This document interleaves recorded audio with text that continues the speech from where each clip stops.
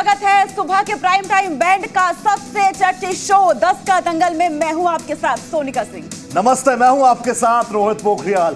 धमाकेदार और एकदम जुदा अंदाज में खबरों को देखने के लिए आप तैयार हो जाइए, क्योंकि अभी से एक घंटे तक विवाद कंट्रोवर्सी और वो बयान जिनसे घमासान मच गया है, हर खबर की तय तक होगी पड़ताल। तो बयानों का दंगल, विवादों का दंगल में तो आइए शुरू करते हैं दस का दंगल। आपको बता दें, दस के दंगल में आज की सबसे बड़ी खबर, और बड़ी खबर यह है, बंगाल शिक्षक भर्ती घोटाले में ईडी की छापेमारी में अब तक करीब 50 करोड़ और 10 किलो सोना बरामद हो चुका है। कैश को बक्सों में भर भर कर ट्रकों में ले जाया गया है। हम आज इस खबर पर पूरा विश्लेषण करेंगे और जानेंगे, भ्रष्टाचार का पहाड़ बाकी है कितनी राज। इसके बाद हम बात करेंगे, विस्तार से चर्चा करेंगे कि आखिरकार ममता के मंत्री पार्थ चटर्जी के करीबियों से इतनी मात्रा में कालाधन मिलने के बावजूद दीदी अब तक खामोश क्यों है? हिंदुस्तान जानना चाहता है कि आखिर सीएम ममता को अब कितने और सबूत चाहिए और पार्थ पर कब कार्रवाई करेगी दीदी? अगली बड़ी खबर आपको बता दें, हम बिहार में गजवा गैंग पर एनआईए की ओर से किए जा रहे एक्शन की भी खबर का विश्लेषण करेंगे। दरभंगा में पीएफआई के किन नेताओं के घर पर छापेमारी हुई है और एनआईए की कार्रवाई के बाद पटना से केरल तक क्यों टेंशन में है पीएफआई, ये भी आपको बताएँगे। और हम बात करेंगे जिहादी गैंग के लाभ जिहाद के बारे में, जो अब हिंदू बेटियों के साथ साथ सिख बेटियों को भी अपना शिकार बना रहे हैं। कैसे गाजियाबाद में आठ साल तक शाहनवाज ने अपना नाम बदलकर लव जिहाद को अंजाम दिया और एक बच्चा पैदा होने के बाद कैसे की धर्म परिवर्तन की कोशिश? अब इस वक्त की बड़ी खबर दस का दंगल का आगाज़ करते हुए आपको बताते हैं। अर्पिता के दूसरे घर में भी छापेमार कार्रवाई जारी है। अब तक 28 करोड़ कैश बरामद हो चुका है। ईडी ने 4 करोड़ का सोना भी मौके से जब्त किया है सोने का।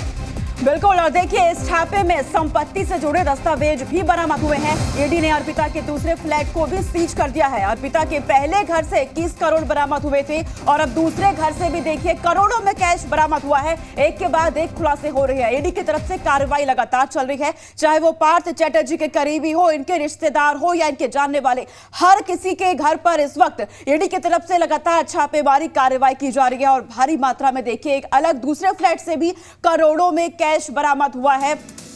और चलिए दस का दंगल में आगे रुक कर लेते हैं। आपको बता दें, इस बीच एक और बड़ी खबर सामने आ रही है। ये बड़ी खबर है, बंगाल कैश लोक से जुड़ी हुई बड़ी खबर। अर्पिता मुखर्जी से ईडी फिर पूछताछ करेगी सूत्रों के हवाले से। ये बड़ी खबर है, ईडी बेलघरिया कैश मामले में पूछताछ करेगी। कल ईडी ने बेलघरिया वाले घर से 28 करोड़ बरामद किए। तो आप देखिए, लगातार ईडी जो है अब तक 50 करोड़ से ज़्यादा संपत्ति जब्त कर चुकी है अर्पिता के घर से। दो अलग अलग फ्लैट से अब तक ये कुर्की हो चुकी है। कई किलो सोना, दस किलो से ज़्यादा सोना। और अब आप देखिए बेलगरिया से जो पैसे बरामद हुए हैं, जो डॉक्यूमेंट ईडी अधिकारियों के हाथ में लगे हैं, उस पर पूछताछ होगी। और देखिए, बड़ा सवाल यही है, क्योंकि बार बार टीएमसी इस बात को कह रही है ना कि ज़ीरो टॉलरेंस है भ्रष्टाचार के खिलाफ। ये ममता दीदी का राज है। ममता दीदी की सरकार है, यहाँ पर पत्ता भी नहीं हिल सकता उनके बिना। तो बड़ा सवाल ये कि इतना बड़ा इतना बड़ा घोटाला नाक के नीचे हो गया और क्या सूबे की मुखिया को पता नहीं चला, क्या दीदी को पता नहीं चला और आखिर कब तक दीदी की दीदी की ममता पार्थ पर बनी रहेगी? ये एक बड़ा सवाल है। और देखिए, लगातार हम आपको बड़ी खबरें बता रहे हैं। इस खबर से जुड़ी हुई इसी बीच एक आगे रुक कर लेते हैं। एक और बड़ी खबर, कोलकाता में ममता कैबिनेट की बैठक आज होने जा रही है। दोपहर दो बजे ममता ने कैबिनेट की बैठक बुलाई है। कैबिनेट बैठक में पार्थ चैटर्जी को लेकर भी चर्चा संभव है। तो देखिए, ममता बनर्जी के बेहद करीबी रहे हैं पार्थ चैटर्जी। अब ईडी के गिरफ्तारी में ये है, इनके ऊपर देखिए, भ्रष्टाचार का आरोप लगा है। और अब कैबिनेट की जब बैठक होने जा रही है तो पार्थ चैटर्जी को लेकर के भी चर्चा संभव है। तो दो बजे बैठक बुलाई गई है, क्योंकि ये सवाल लगातार उठ रहे हैं कि आखिर अब तक कैबिनेट से बर्खास्त क्यों नहीं किया गया? ईडी ने गिरफ़्तार किया है पार्थ चटर्जी को। लगातार ऐसे कॉन्टैक्ट निकलकर सामने आ रहे हैं जो बता रहे हैं कि किस तरीके से तत्कालीन शिक्षा मंत्री पार्थ चटर्जी ने एसएससी भर्ती में किस तरीके से और किस स्तर पर घोटाला किया था। आप देखिए, जब से पार्थ चटर्जी की गिरफ्तारी की खबर आई है, कोलकाता की सड़कों पर जो छात्र हैं, जो अभ्यर्थी हैं, वो नाचते हुए, गाते हुए नज़र आए। वो इस बात पर है, इस बात पर खुश है कि ममता बनर्जी अब तो उनके साथ इंसाफ करेंगी। अगली बड़ी खबर का रुख करते हैं। ममता सरकार के खिलाफ आज प्रदर्शन होगा। कोलकाता में बीजेपी का विरोध प्रदर्शन का कार्यक्रम है। दोपहर एक बजे बीजेपी ये मेगा रैली करेगी, जिसमें ममता सरकार को घिरती हुई नज़र आएगी। पार्थ चैटर्जी के इस्तीफे की मांग करेगी। बीजेपी लगातार ममता बनर्जी को जब से ये पार्थ चैटर्जी और अर्पिता मुखर्जी से जुड़े तमाम जो पैसे वो निकलकर सामने आ रहे हैं। घेरती हुई नज़र आ रही है। शुभेंदु अधिकारी लगातार कह रहे हैं कि आखिर किस बात का इंतज़ार ममता बनर्जी कर रही हैं? आखिर ममता मंत्रिमंडल से अभी तक पार्थ चैटर्जी को क्यों नहीं हटाया गया है? और इस बैठक के बाद दो बजे एक कैबिनेट की मीटिंग ममता बनर्जी ने भी बुला रखी है। तो आज बड़ी रैली एक तरीके से बीजेपी कलकत्ता की सड़कों पर अपने तमाम कार्यकर्ताओं के साथ उतरेगी।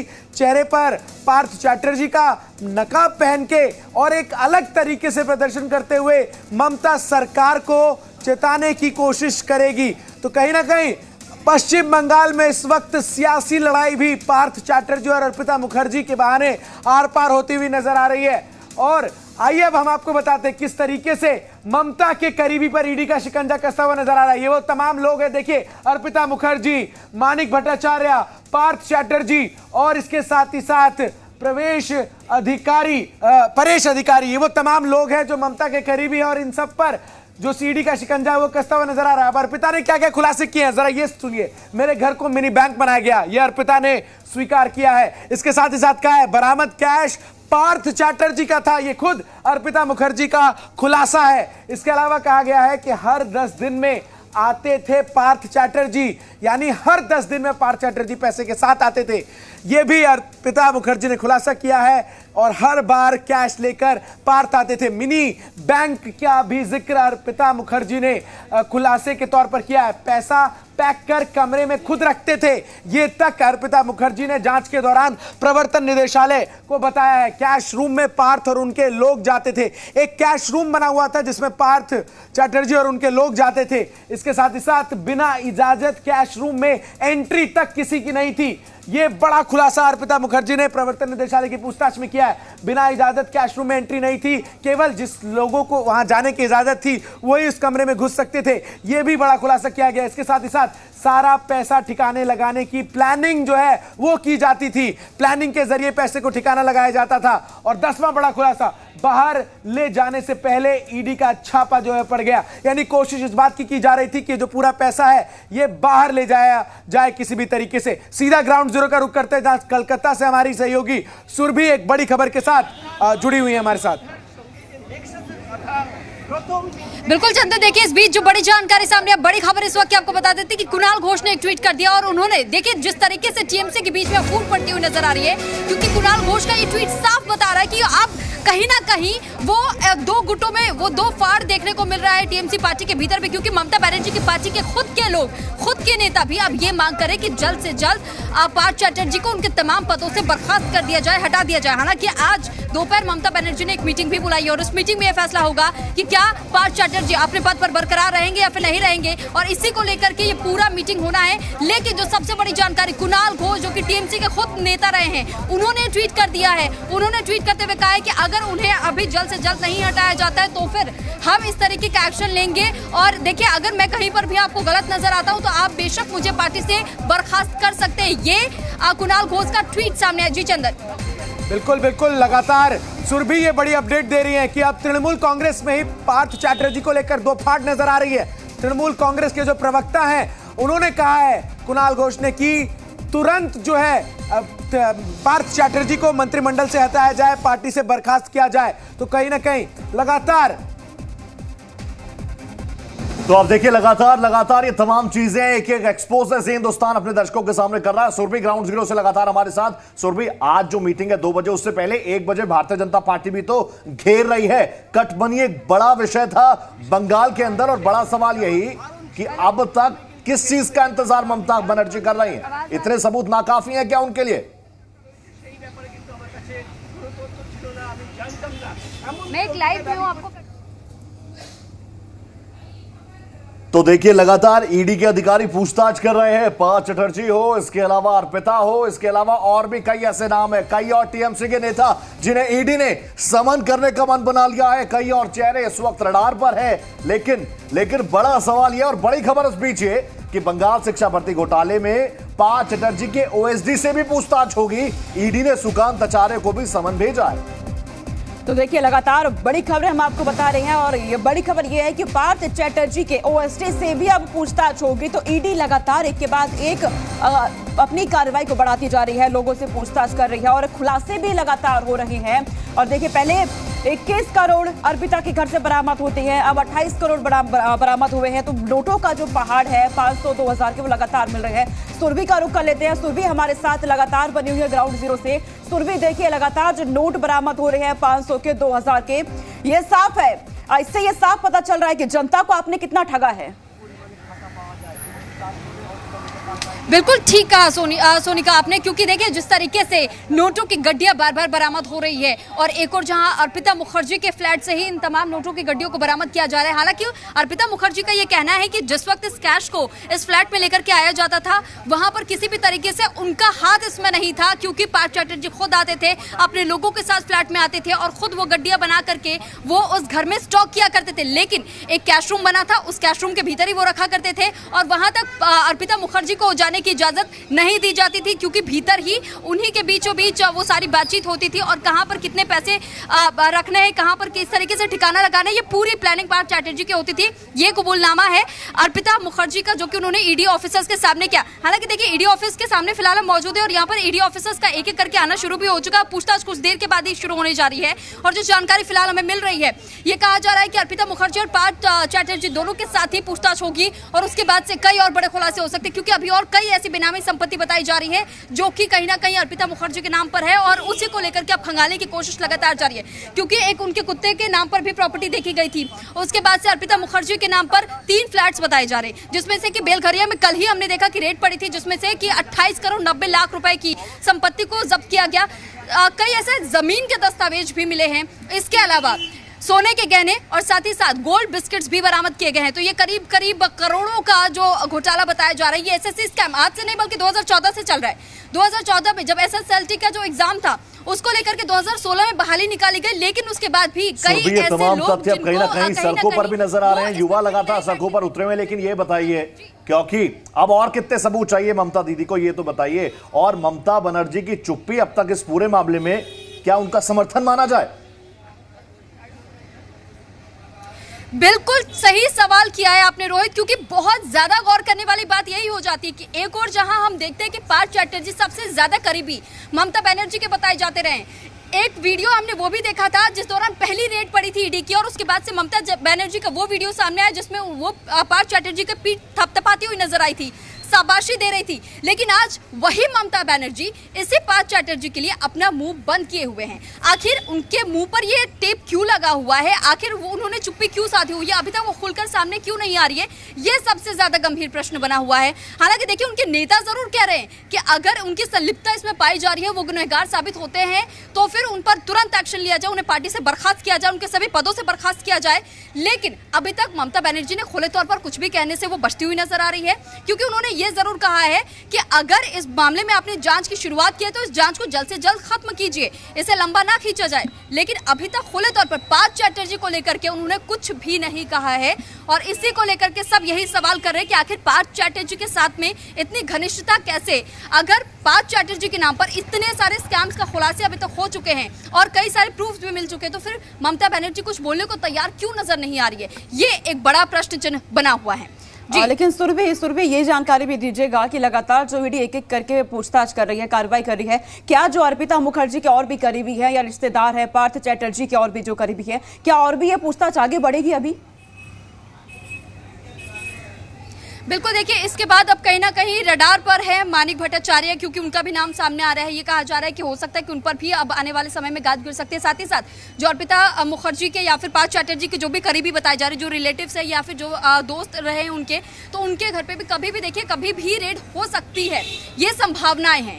लेकिन क्योंकि जो जो लोग करीबी रहे हैं, किन किन के साथ तार उनके जुड़े हुए हैं, हाल फ़िलहाल में आपने वो खबर भी ज़रूर सुनी होगी कि दक्षिण चौबीस परगना में पार्थ चैटर्जी का एक घर फार्म हाउस जहाँ पर अभी भी चोरी की वारदात हुई। और उसी चोरी की वारदात को लेकर के कहा जा रहा है कि हो सकता है कि उस घर में भी उन चोरों को जानबूझ करके भेजा गया था, क्योंकि वहाँ पर भी कोई ना कोई धन ज़रूर छुपा हुआ हो सकता है। तो कई ऐसे एंगल्स अभी और इसमें निकल करके सामने आ सकते हैं किन किन लोगों के तारे से जुड़े हुए होंगे, ये देखने वाली बात होगी, क्योंकि लेकिन अभी फ़िलहाल में मानिक भट्टाचार्य पर भी वो तलवार अटकी हुई है कि ईडी कभी भी रेड कर सकती है, उनके भी जानने वालों से पूछताछ कर सकती है। हालाँकि कई ऐसे करीबी बताए जा रहे हैं, जिन करीबियों से पूछताछ चल रही है, लेकिन उन नामों का अभी तक ईडी की तरफ़ से कोई खुलासा नहीं किया जा रहा है, क्योंकि कहीं ना कहीं वो उसे बचते हुए ना नज़र आए। बस यही कारण है कि अभी तक खुले तौर पर सबके नाम नहीं आ रहे हैं। बिल्कुल बिल्कुल, खुले तौर पर सबके नाम नहीं आ रहे। कुछ इंफॉर्मेशन थोड़ी कॉन्फिडेंशियल भी होती है ताकि बातें और इंफॉर्मेशन लीक ना हो जाए। लेकिन एनफोर्समेंट डायरेक्टरेट के अधिकारी लगातार अपनी कार्रवाई की दशा और दशा बहुत गति से आगे बढ़ा रहे हैं। लेकिन सबसे बड़ा सवाल या निशान ये कि बात बात पर नैतिकता की बात करने वाली दीदी इस पूरे घोटाले पर अब तक चुप क्यों है? इसी कश्मकश को लेकर एक रिपोर्ट तैयार की गई है। नज़र डालिए।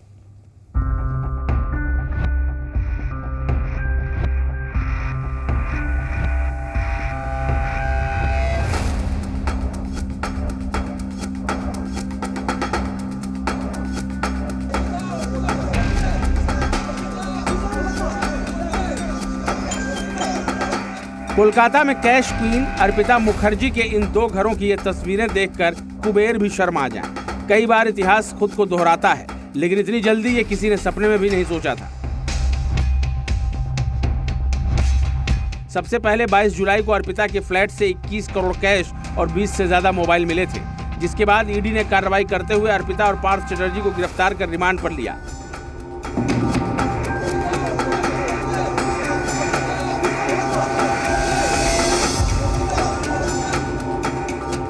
सूत्रों के मुताबिक पूछताछ में अर्पिता ने माना कि यह पैसा पार्थ चटर्जी का है।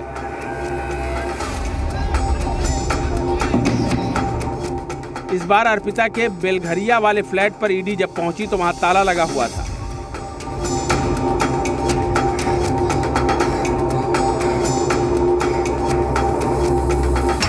टीम ताला तोड़कर जब अंदर गई तो हैरान रह गई। इस फ्लैट में भी नोटों का अंबार लगा हुआ था। नोट इतने ज़्यादा थे कि गिनती के लिए आरबीआई से पाँच आधुनिक मशीनें मंगाई गई।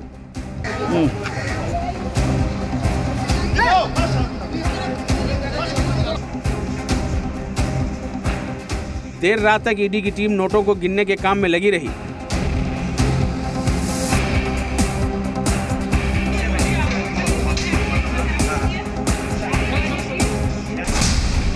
जानकारी के मुताबिक 20 करोड़ से ज़्यादा की रकम तीन किलो सोना ज़मीन के कागजात और विदेशी मुद्रा मिली है। इस छापे में कितनी रकम बरामद हुई, इसकी पूरी जानकारी तो कार्रवाई खत्म होने के बाद ही मिल सकेगी। लेकिन इन तस्वीरों को देखकर समझा जा सकता है कि पार्थ चटर्जी पर पैसों की बरसात हो रही थी और ये पैसे कहाँ से आए, ये किसी से छिपा नहीं है।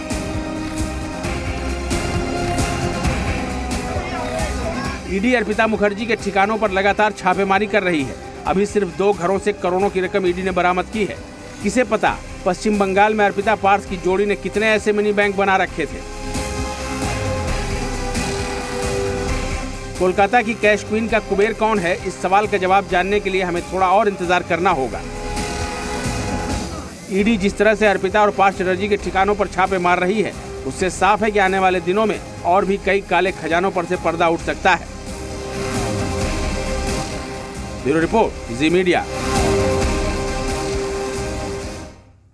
देखा किस तरीके से पार्थ चैटर्जी और अर्पिता मुखर्जी, इन दोनों से जुड़े अब कई अहम खुलासे जो वो निकलकर सामने आ रहे हैं। और इन दोनों से अब तार जो है सीधे ममता बनर्जी के भी जुड़ते हुए नज़र आ रहे हैं और इसीलिए कई बड़े सवाल जो है वो इस वक्त पश्चिम बंगाल की सियासत में ममता बनर्जी से भी पूछे जा रहे हैं। क्या सवाल है? वो देखिए, अब तक पार्थ चैटर्जी का इस्तीफा क्यों नहीं हुआ? ये पश्चिम बंगाल के तमाम नागरिक पूछ रहे हैं। ममता ने पार्थ चैटर्जी को बर्खास्त क्यों नहीं किया? सीधा सीधा कनेक्शन निकलकर सामने आ रहा है। करोड़ों रुपए बरामद किए जा रहे हैं। बावन करोड़ के कैश के बाद अब और कितने सबूत ममता बनर्जी को चाहिए ताकि वो पार्थ चैटर्जी को बर्खास्त कर सके?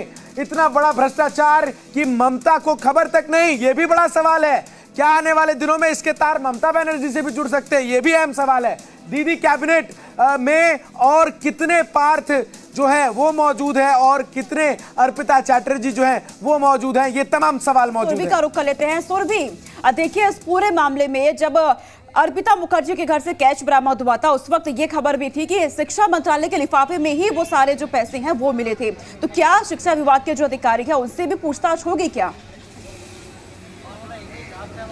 बिल्कुल, सोनिका, ठीक कहा है आपने, क्योंकि देखिए, सबसे ज़्यादा अभी फ़िलहाल जो कड़ी अटकी हुई है, ईडी लगातार पूछताछ में यही जानना चाह रही है कि आखिर अर्पिता मुखर्जी के घर पर वो दस्तावेज़ क्या कर रहे थे, जो कि गवर्नमेंट के थे। क्योंकि देखिए, अर्पिता मुखर्जी का गवर्नमेंट से टीएमसी पार्टी से कोई लेना देना नहीं है, लेकिन जिस दौरान पूर्व शिक्षा मंत्री, जिस दौरान वो अब शिक्षा मंत्री के तौर पर पदस्थ थे, उस वक्त की ये बात थी, जिस वक्त वो एक काली डायरी के तौर पर उन्होंने इसकी एक हार्ड कॉपी भी रख रखी थी, और साथ ही साथ कुछ पेन ड्राइव और हार्ड डिस्क भी उनके पास में मौजूद थे, जो कि अर्पिता मुखर्जी के घर पर ही थे। जब ईडी ने रेड की, तब अर्पिता मुखर्जी के घर से इन तमाम दस्तावेजों को बरामद किया गया और उसके बाद से इस बात का खुलासा हुआ कि आज के वक्त में भले वो शिक्षा मंत्री नहीं रहे पार्थ चैटर्जी, लेकिन फिर भी पार्थ चैटर्जी के पास आज भी वो तमाम दस्तावेज़ मौजूद है, जिसमें कि शिक्षा को लेकर के तमाम वो जानकारियाँ हैं कि किस तरीके से घोटाले और आगे किए जा सकते हैं। और इसी वजह से कहा जा रहा है कि ये 28 से 50 करोड़ का घोटाला नहीं है, बल्कि हज़ारों करोड़ का घोटाला हो सकता है। आने वाले समय में ये भी स्थितियाँ स्पष्ट हो जाएँगी कि क्या हज़ार करोड़ का घोटाला होता है या कितना बड़ा घोटाला होगा? बिल्कुल सुरभि अब देखिए अयान मुखर्जी भी लगातार हमारे साथ बने हुए हैं। अयान से बात करते हैं। अयान देखिए सबसे बड़े सवाल तो यही उठ रहे हैं। बार बार ये कहा जाता था ना कि ये तो बंगाल है ये कोई उत्तर प्रदेश नहीं है ये बंगाल है। यहाँ पर भ्रष्टाचार को लेकर ज़ीरो टॉलरेंट की नीति है ममता दीदी की। लेकिन पार्थ पर दीदी की ममता इतने लंबे वक्त तक पचास पचास करोड़ के बक्से नहीं दिख रहे दीदी को। सोना चांदी जो मिला है वो नहीं दिख रहा दीदी को। और अब तो अर्पिता भी एक्सपोजे कर रही है कि ये तमाम पैसे पार्थ चटर्जी के जी, बिल्कुल, इस वक्त सबसे बड़ी खबर, सबसे अहम खबर, अर्पिता मुखर्जी ने ईडी की जेरा में ऐसा साफ़ साफ़ कह दिया है कि उनको पता भी नहीं था कि कब आके पार्थ चटर्जी बंद हुआ फ्लैट का चाबी मांग के ताला खोल के वहाँ पे पैसा पे पैसा डाल रहे हैं। पैसों की बरसात हो रही है। पार्थ चटर्जी के आदमी जब अर्पिता मुखर्जी के फ्लैट में घुसे तो अर्पिता को कानों कान खबर भी नहीं था, उसको फ़ोन भी नहीं किया जाता था। इस तरह से अर्पिता को पूरा अंधेरे में रखकर पार्थो चटर्जी ने अपनी आदमी के ज़रिए सारे के सारे जो पैसे हैं मतलब अभी तक सिर्फ़ दो फ्लैट, उसमें छापा पड़ा और इक्यावन करोड़ रुपया यहाँ पे बरामद हुआ। और कितने ना जाने अर्पिता की फ्लैट है। कोलकाता में कोलकाता के आसपास में अर्पिता की ऐसी और अभी तक ताज़ा जानकारी अनुसार तेरह और ऐसी फ्लैट है। उस तेरह फ्लैट में अगर छापा पड़ा तो और कितने रुपया मिलने की उम्मीद है? ये बिल्कुल कितनी भारी रकम? लगातार आखिर अंत कहाँ पे है। कई सवाल भी लगातार उठ रहे हैं लेकिन आपका दोबारा से हम रुक करेंगे। आप बने रहिए हमारे साथ। फ़िलहाल यहाँ पे एक छोटे से ब्रेक का वक्त हो गया है। आप बने रहेगा जी हिंदुस्तान के साथ दंगल जारी है।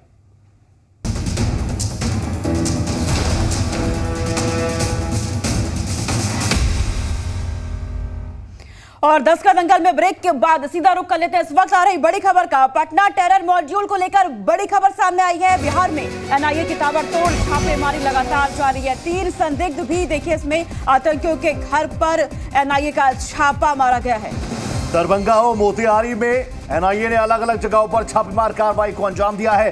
नूरुद्दीन जंगी के ठिकानों पर भी नेशनल इन्वेस्टिगेटिव एजेंसी लगातार रेड कर रही है। पीएफआई के सदस्यों के लिए जंगी केस लड़ता था। लखनऊ से नूरुद्दीन की गिरफ्तारी हुई थी। आपको याद होगा उस वक्त भी सबसे पहले से हिंदुस्तान ने इस बात की जानकारी दी थी कि नूरुद्दीन जंगी जो है, कोर्ट में वकील है और पीएफआई के ऊपर जो भी केसेस होते थे, उनको कहीं ना कहीं दलीलें मजबूती के साथ जंगी रखता था और अब एनआईए, आप देखिए, एनआईए इस पूरे मामले को लेकर जंगी से लगातार पूछताछ कर रही है और उसी के आधार पर कई लोगों को टारगेट पर इस वक्त रखा हुआ है। पीएफआई के लिए ट्रेनिंग रियाज दे रहा था, मुस्तकीन दे रहा था और इन पर भी अब एनआईए की रेड जारी है।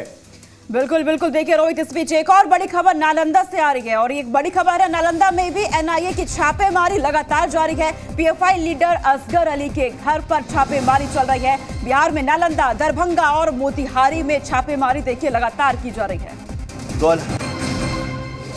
तो सीधा रुख ग्राउंड ज़ीरो का करते हैं। रजनीश, हमारे सहयोगी ग्राउंड ज़ीरो से हमारे साथ जुड़ चुके हैं। रजनीश एटीएस एसटीएफ और अब एनआईए अलग अलग जगहों पर रेड डाल रही है। क्या कुछ बड़े खुलासे और कार्रवाई की दशा दशा किस तरफ़ आगे बढ़ रही है? देखिए अब बहुत अहम खुलासे जो है वो हुए हैं और एनआईए की टीम लगातार जाँच को आगे बढ़ा रही है। नौरुद्दीन जंगी जो कि पेशे से वकील है लेकिन अब उस पर शिकंजा जो है वो कसता जा रहा है और पहले ही बिहार पुलिस की टीम जो है वो गई थी यहाँ पे और यूपी एटीएस के साथ लखनऊ से गिरफ़्तार किया था। दरभंगा का रहने वाला है ये। तो दरभंगा में उसके ठिकाने पर मुस्तकिन के ठिकाने पर और नौरुद्दीन जी के जो दो अन्य सदस्य है जो उसके सहयोगी हैं उसके ठिकानों पर छापेमारी चल रही है दरभंगा में। इसके अलावा रियाज जो कि अ, रहने वाला है चकिया का मोतिहारी जिला में। उसके ठिकाने पर छापेमारी चल रही है। रियाज जो है वो मास्टरमाइंड था यहाँ पे और उसके जो तार है वो पाकिस्तान से जुड़े हुए हैं और वहाँ पे जो फैज़ान है उसके इशारों पर काम कर रहा था और जो गजवा हिंद का जो व्हाट्सएप ग्रुप है एक सदस्यों का उसमें उसे तो, जो फैज़ान है उसने यहाँ पे उसे एडमिन बनाया था। इसके अलावा बात कर ले तो असगर अली समेत तीन अन्य ठिकानों पर नालंदा में छापेमारी जो है वो चल रही है। बेहद अहम खुलासा जो है वो हुआ है। साथ ही साथ लगातार जाँच एजेंसी जो है वो खोजबीन पड़ताल कर रही है। देशद्रोही गतिविधियों को अंजाम देने में तमाम ये जो लोग हैं वो जुड़े हुए थे। टेरर फंडिंग का मामला है। विदेशों से पैसे जो है इनके अकाउंट्स में आ रहे थे। इसके अलावा बात कर ले तो ये लोग रेडिकलाइज करने को लेकर लोगों के साथ जुड़े हुए थे, बच्चों को चिन्हित करके उस खास समुदाय विशेष के इलाकों से बच्चों को उठाते थे, किसी को साइबर में, किसी को मार धार में और किसी को रेडिकलाइज इस तरीके से श्रेणी में कैटेगराइज करके उन्हें ट्रेनिंग दी जाती थी। तो ये पूरा मसला मामला जो है अंतर्राष्ट्रीय स्तर पर जुड़ा हुआ है और जैसे जैसे पूछताछ आगे बढ़ रही है, बेहद अहम और सनसनीखेज खुलासे जो हैं वो सामने आ रहे हैं, जिसमें कि देशद्रोह से लेकर तमाम वैसी गतिविधियों को अंजाम देने को लेकर ये लोग साजिश के तहत काम कर रहे थे और उसी के तहत यहाँ पे पैसे की भी फंडिंग हो रही थी साथ ही साथ लोगों को ये इकट्ठा कर रहे थे और सीमी जो संगठन है प्रतिबंधित तो उसके जो पुराने सदस्य है उसके साथ मिलकर परवेज जो है वो एक अलग संगठन बनाकर काम करने की जुगत में था। उसके भी कई सनसनीखेज जो है वो सामने में आ रहे तो एनआईए की टीम जो है परत दर परत यहाँ पे खोजबीन और जाँच पड़ताल जो है वो कर रही है। और इसी कड़ी में बिहार के तीन जिलों के कई ठिकानों में यहाँ पे रजनीश रजनीश क्योंकि आप उन तीन तीन जगहों का भी ज़िक्र कर रहे हैं। नालंदा दरभंगा मोतिहारी क्या पीएफआई वाकई, क्योंकि हम लोग तो दिल्ली एनसीआर में हैं आप ग्राउंड पर रहते हैं, क्या वाकई पिछले कुछ वक्त में पीएफआई एक्टिव मोड में इन तमाम जगहों पर नज़र आया है? देखिए पीएफआई का जो मुख्य कार्य क्षेत्र है अगर बिहार की बात कर ले वो सीमांचल का इलाका है। लेकिन अभी आप देखेंगे कि दरभंगा हो चाहे मोतिहारी हो या फिर जो बिहार शरीफ का इलाका है नाल, ना, नालंदा का और फुलवारी शरीफ पटना में जो गतिविधियों को जिस तरीके से वो अंजाम दे रहे थे मार्शल आर्ट की ट्रेनिंग के नाम पे जिस तरीके से घातक ट्रेनिंग जो है यहाँ पे वो दी जा रही थी और खून खराबे को लेकर लोगों को प्रशिक्षित किया जा रहा था हसिया चाकू से लेकर और रोड चलाने की ट्रेनिंग और इन्हें एनाटॉमी बॉडी की एनाटॉमी को दिखाकर कहाँ पे वार करने पे ज़्यादा खतरनाक होगा, इन इन बातों को लेकर इन्हें प्रशिक्षण दिया जा रहा था। अब तमाम करी दर परत दर परत जो बातें जो है वो खुलकर सामने आ रही है, जो लोग गिरफ़्तार हुए हैं, कोई भी टैक्स पे ही नहीं है और सबके अकाउंट्स में ह्यूज अमाउंट जो है वो आते हैं और अगले ही दिन वो या तो कैश निकाल लिए जाते हैं या फिर ट्रांसफ़र हो जाते हैं। तो एनआईए की टीम जो है इन तमाम बातों को खंगालने में जुटी हुई है कि किस तरीके से फंडिंग कहाँ से होता था और कहाँ पर ये पैसे जो है वो जाते हैं और इसके पीछे का प्रायोजन क्या है जो बातें निकल कर आई हैं वो बेहद खतरनाक है जाँच पड़ताल बिल्कुल रजनीश लेकिन देखिए दरभंगा मोतिहारी नालंदा में जिस तरीके से पीएफआई ये एक्टिव नज़र आ रहा है आप जानकारी दे रहे हैं तो क्या इसके अलावा और भी इलाके हैं क्या बिहार में जहाँ एक्टिव है और अगर एक्टिव है तो उसके पीछे मंशा क्या है?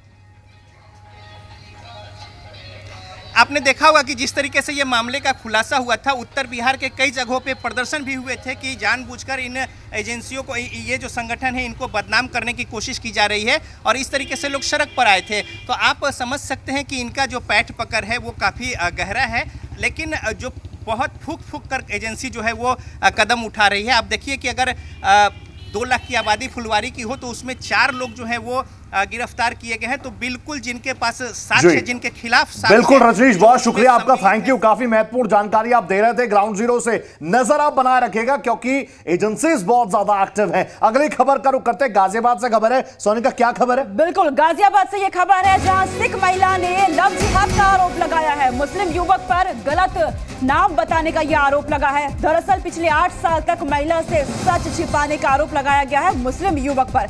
जबरन धर्म परिवर्तन की कोशिश की गई है। इसका आरोप है, वही पुलिस ने केस दर्ज कर ली है, जाँच शुरू कर दी गई है। लेकिन देखिए, अब ये गाजियाबाद में लव जिहाद का मामला सामने आया है और कहा जा रहा है कि जबरन धर्म परिवर्तन कराने की कोशिश भी की गई थी। लेकिन यहाँ पर बड़ी बात देखिए, पूरे आठ साल बाद उस महिला को पता चलता है, जिस युवक के साथ वो रह रही थी। अब तक वो मुस्लिम है और सिख महिला ने लव जिहाद का आरोप लगाया है। और आप देखिए प्यार करना गुना नहीं है। Love is not a crime लेकिन अपनी आइडेंटिटी छुपाकर दूसरे धर्म का नाम बताकर अगर आप अपनी मंशा नहीं साफ़ कर पा रहे हैं तो यहाँ पर यह बड़ा सवाल है।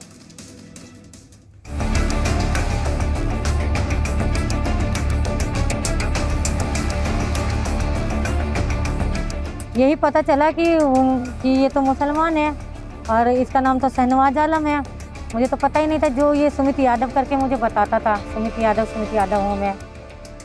गाजियाबाद में लव जिहाद फिर आबाद। हिंदू के बाद अब सिख बेटियों पर निशाना। बाबू आठ दस साल से तो आप रह ही रहे हो हमारे साथ। अब तुम मुझे कहाँ छोड़ के जाओगे? अब तो हमारे लिए धर्म बदल लो। तो मैंने कहा क्यों बदल लो मैं धर्म में तो सिख ही हूँ। आठ साल के धोखे का हिसाब देगा शाहनवाज। गाजियाबाद में एक सिख महिला ने एक मुस्लिम युवक पर पहचान छिपाकर लव जिहाद का आरोप लगाया है। महिला का आरोप है कि युवक ने अपना नाम सुमित यादव बताकर उसे अपने प्यार के जाल में फंसाया, जिसके बाद वो साथ रहने लगी। महिला ने जब उस पर शादी का दबाव बनाया तो युवक की सच्चाई सामने आ गई। मेरे साथ एक सुमित यादव करके नाम था, उसका बंदे का जो हिंदू बनकर मुझे गुमराह कर रहा था। उसमें फिर अब आठ साल बाद ये पता चला मुझे, जब उसने मैंने शादी की बात करी कि मुझे शादी करनी है तो वो मुझे अपने बिहार गाँव लेकर गया। बिहार गई मैं वहाँ शादी करने के लिए तो पता चला ये तो मुसलमान है। महिला का आरोप है कि उसे आठ साल तक सुमित बनकर धोखा दिया गया जिस दौरान उसने एक बेटे को भी जन्म दिया। शादी के लिए दबाव बनाने पर आरोपी उसे बिहार में अपने गाँव लेकर गया और जबरन उसका धर्म परिवर्तन कराने की कोशिश की। महिला ने आरोपी पर उत्पीड़न का भी आरोप लगाया है। उस आदमी ने एक पहले भी हिंदू महिला से शादी कर रखी थी और उससे भी वो धंधा कराता था और वही इनको भी उसी में जोड़ना चाह रहा था। जिसका इन्होंने विरोध किया तो इनके ऊपर हाथापाई की गई इनको बुरी तरीके से मारा गया। यहाँ तक कि इनके ऊपर पेशाब भी करी गई जो कि वीडियो भी हैं फ़ोटोज़ भी हैं सब इनके पास मौजूद हैं। महिला की शिकायत पर पुलिस ने केस दर्ज कर लिया है। एसपी ने कहा कि जाँच के बाद कानूनी कार्रवाई की जाएगी। अब उनके द्वारा ये कहा जा रहा है कि जो व्यक्ति उनके साथ रह रहा था वो धर्म परिवर्तन के लिए दबाव बनाने लगा। उसके आधार पे इनके द्वारा तहरीर दी गई एफआईआर पंजीकृत करके विवेचना की जा रही है। साक्ष्यों के आधार पर अग्रिम वैधानिक कार्रवाई की जाएगी। हिंदू के बाद अब सिख बेटियों के साथ इस तरह के मामले सामने आने के बाद कई सवाल खड़े हो गए हैं। सच क्या है? इसके लिए पुलिस की जाँच पूरी होने का इंतज़ार है। Bureau report, Zee media. और देखिए समझना अब ज़्यादा मुश्किल है नहीं कि भड़काऊ भाईजान यानी असदुद्दीन ओवैसी जब भी बोलते हैं वो विवादों के लिए ही बोलते हैं। और अब उस पर वीएचपी का पलटवार सामने आ चुका है। साफ़ तौर पर विश्व हिंदू परिषद के अध्यक्ष कह रहे हैं कि मौलवियों को टैक्स के पैसों से सैलरीज दी जाती है। और देखिए आपको बता दें एक बार फिर से ओवैसी के विवादित बयान पर वीएचपी का पलटवार सा, सामने आया है। ओवैसी इसके लिए चुप क्यों है ये कहा गया है आलोक कुमार की तरफ़ से। तो पुजारियों को कोई सैलरी नहीं मिलती। आलोक कुमार की तरफ़ से यह कहा गया। और पूरा मामला देखिए कावड़ यात्रा से जुड़ा हुआ है।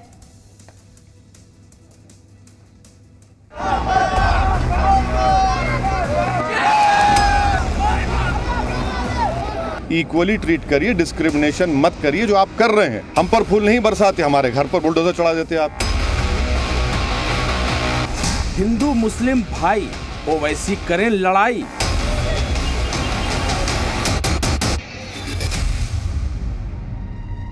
कांवड़ियों का सम्मान भाईजान करें घमासान।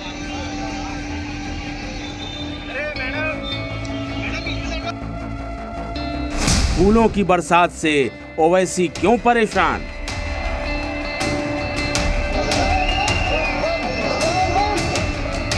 हम पर फूल नहीं बरसाते हमारे घर पर बुलडोजर चढ़ा देते आप। सावन में आसमान से भोले के भक्तों पर फूल क्या बरसे? भड़काऊ भाईजान को ऐसा दर्द हुआ कि वो जिहादी गैंग की पैरवी पर उतर आए। ओवैसी ने सरकार पर भेदभाव का आरोप लगाते हुए निशाना साधा।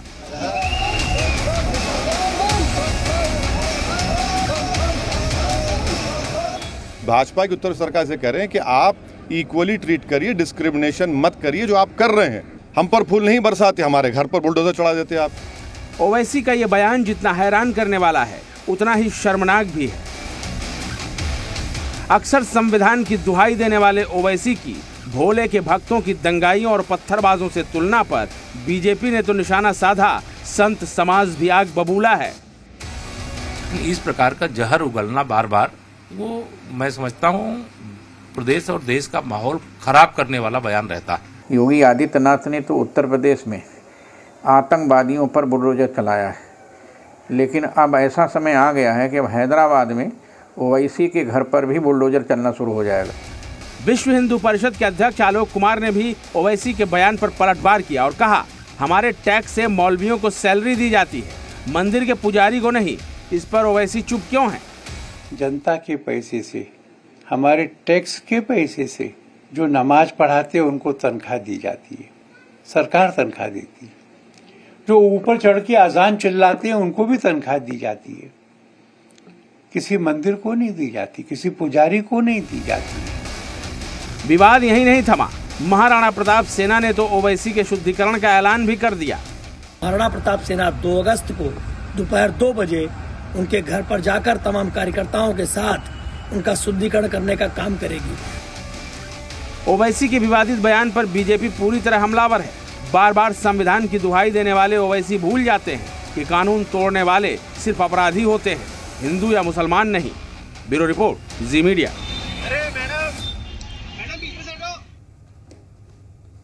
तो देखिए, दिक्कत इसी बात की है कि अगर कावड़ियों के ऊपर पुष्प वर्षा हो गई तो इसमें असदुद्दीन ओवैसी साहब को दिक्कत कहाँ गई? और इसी को लेकर अब कहीं ना कहीं असदुद्दीन ओवैसी जो है सबके निशाने पर है। चार तस्वीरें हम आपको दिखा रहे हैं। कावड़ियों को लेकर विवादित बयान दिया था, उस पर भारतीय जनता पार्टी ने उन पर निशाना साधा। संत समाज में इसमें आक्रोश व्याप्त है, और अब विश्व हिंदू परिषद भी यह साफ़ कर चुका है कि जनाब, अगर आप इतना ही सेक्युलरिज्म का झंडा बुलंद करना चाहते हैं तो आपको तब दिक्कत क्यों नहीं होती जब टैक्स पेयर के पैसों से मौलवियों को सैलरी मिलती है? बिल्कुल, और दस का दंगल में आगे रुक कर लेते हैं यूपी में। समाजवादी सियासत गर्मा रही है। अखिलेश लखनऊ में बैठक बुलाकर विश्वासघाती विधायकों की पहचान करने में जुटे रहे। तो उधर कांग्रेस से समाजवादी खेमे में एंट्री लेने वाले इमरान मसूद ने बागी तेवर दिखाते हुए कहा, कह दिया कि समाजवादी पार्टी में अंदर खाने ज़बरदस्त कला मची हुई है। ये रिपोर्ट देखिए। राष्ट्रपति चुनाव के हफ़्ते भर बाद लखनऊ में समाजवादी पार्टी की बैठक अखिलेश यादव ने ली। तो सबसे बड़ा मुद्दा पार्टी के विश्वासघाती विधायकों की पहचान करना था। अखिलेश के निर्देश पर पाँच मेंबर्स की टीम ने गोपनीय रिपोर्ट तैयार की थी। क्योंकि आप लोग रिपोर्ट भी तैयार कर रहे थे। नहीं पार्टी इस पर समीक्षा कर रही है। पार्टी इस पर समीक्षा करेगी और इसको देखेगी कौन लोग हैं इसे। सूत्रों के मुताबिक इस रिपोर्ट में पाँच विधायक शक के घेरे में हैं जिसमें मुस्लिम विधायक भी हैं। औपचारिक स्वतंत्र हैं आप। तो इससे तो अच्छा था कि हमें विधानमंडल दल से निकाल दिया। ते तो वो अच्छा था। बड़ा सवाल तो ये कि इन विधायकों ने शिवपाल यादव के इशारे पर वोट किया या फिर नेताजी को पाकिस्तानी एजेंट ठहराने वाले यशवंत सिन्हा के बयान के खिलाफ वोटिंग की? और अब अपनी पार्टी के विधायक अगर उनकी पार्टी के विधायक को उनको भरोसा नहीं रह गया है वो क्रॉस वोटिंग कर रहे हैं तो उनकी पार्टी और स्वतंत्र है किसी के ऊपर कोई अपनी पार्टी में एक्शन लेने के लिए। अखिलेश बाकी विधायकों पर एक्शन का फैसला लेते इससे पहले सहारनपुर में इमरान मसूद ने समाजवादी नेताओं के खिलाफ मोर्चा खोल दिया। मसूद ने सीधा आरोप लगाया कि समाजवादी पार्टी में अंदर खाने ज़बरदस्त कलह मची है। इमरान मसूद विधानसभा चुनाव के दौरान ही कांग्रेस का हाथ छटक कर साइकिल पर सवार हो गए थे।